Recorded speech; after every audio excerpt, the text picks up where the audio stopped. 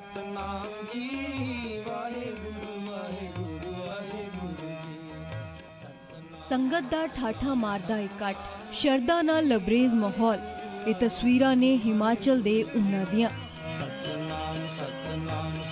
ਜਿੱਥੇ ਜਦੋਂ ਨਨਕਾਣਾ ਸਾਹਿਬ ਤੋਂ ਸ਼ੁਰੂ ਹੋਇਆ ਕੁਮਾਂਤਰੀ ਨਗਰ ਕੀਰਤਨ ਪਹੁੰਚਿਆ ਤਾਂ ਲੋਕ ਗੁਰੂ ਦੇ ਦਰਸ਼ਨਾਂ ਲਈ ਵੱਡੀ ਤਾਦਾਦ 'ਚ ਪਹੁੰਚੇ।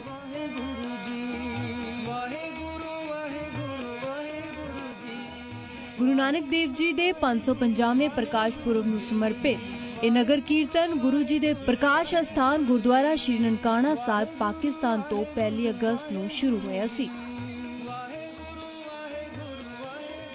ਜਗਤ ਗੁਰੂ ਗੁਰੂ ਨਾਨਕ ਪਾਤਸ਼ਾਹ ਦੇ 550 ਸਾਲਾ ਆਗਮਨ ਪੁਰਬ ਤੇ ਮੈਂ ਸਮੁੱਚੇ ਹੀ ਸਿੱਖ ਜਗਤ ਨੂੰ ਸਮੁੱਚੀ ਦੁਨੀਆ 'ਚ ਵਸਦੇ ਹੋਏ ਲੋਕਾਂ ਨੂੰ ਆਪਣੇ ਵੱਲੋਂ ਸ਼੍ਰੋਮਣੀ ਅਕਾਲੀ ਦਲ ਵੱਲੋਂ, ਸ਼੍ਰੋਮਣੀ ਗੁਰਦੁਆਰਾ ਪ੍ਰਬੰਧਕ ਕਮੇਟੀ ਵੱਲੋਂ ਹਿਮਾਚਲ ਦੀਆਂ ਸਮੁੱਚੀਆਂ ਹੀ ਸਿੱਖ ਸੰਗਤਾਂ ਵੱਲੋਂ ਲੱਖ ਲੱਖ ਵਧਾਈ ਦਿੰਦਾ ਇਸ ਜਗਤ ਫੇਰੀ ਦੇ ਉੱਤੇ ਸੰਗਤਾਂ ਦੇ ਵਿੱਚ ਜਿਹੜਾ ਉਤਸ਼ਾਹ ਹੈ, ਉਹਨੂੰ ਸ਼ਬਦਾਂ ਦੇ ਵਿੱਚ ਬਿਆਨ ਨਹੀਂ ਕੀਤਾ ਜਾ ਸਕਦਾ। ਇਸ ਮੌਕੇ ਥਾਂ ਥਾਂ ਤੇ ਲੰਗਰ ਅਤੇ ਸੰਗਤ ਦੀ ਸੁੱਖ ਸਹੂਲਤ ਦਾ ਬੰਦੋਬਸਤ ਕੀਤਾ ਗਿਆ। ਅਤੇ ਸਮੂਹ ਸੰਗਤ ਵੱਲੋਂ ਵੀ ਨਗਰ ਕੀਰਤਨ ਦਾ ਸਵਾਗਤ ਵੱਡੇ ਪੱਧਰ ਤੇ ਕੀਤਾ ਗਿਆ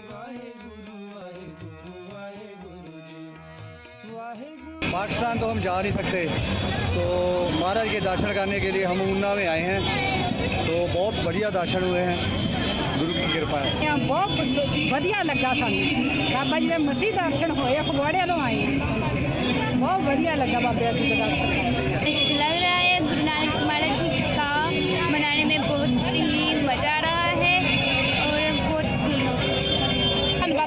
ਮਹਾਰਾਜ ਦਾ ਸ਼ੁਕਰੀਆ ਮਨਾਉਣੇ ਸਵੇਰ ਦਾ ਹੀ ਚੱਲੇ ਹਾਂ ਮਹਾਰਾਜ ਦਰਸ਼ਨ ਕਰਨ। ਬਹੁਤ ਬਹੁਤ ਧੰਨਵਾਦ ਹੈ ਮਹਾਰਾਜ ਇਹ ਨਗਰ ਕੀਰਤਨ ਨਨਕਾਣਾ ਸਾਹਿਬ ਤੋਂ ਸ਼ੁਰੂ ਹੋਇਆ ਅਤੇ ਵੱਖ-ਵੱਖ ਸੂਬਿਆਂ ਦੇ ਅਹਿਮ ਸ਼ਹਿਰਾਂ 'ਚੋਂ ਹੁੰਦਾ ਹੋਇਆ। ਸੁਲਤਾਨਪੁਰ ਲੋਧੀ ਆ ਕੇ ਮੁਕੰਮਲ ਹੋਵੇਗਾ। ਰਾਕੇਸ਼ ਮੱਲੀ ਦੇ ਨਾਲ ਨਿਊਜ਼ ਰਿਪੋਰਟ ਸੀ ਮੀਡੀਆ, ਉਨਾ।